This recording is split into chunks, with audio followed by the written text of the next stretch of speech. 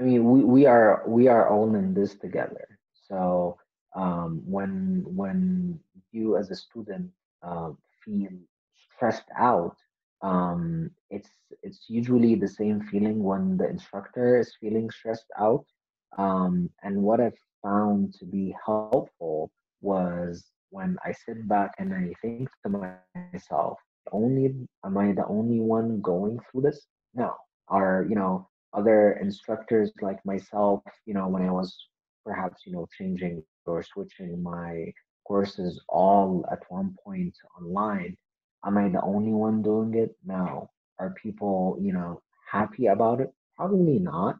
Then I started feeling, yeah, I'm not in this alone, right?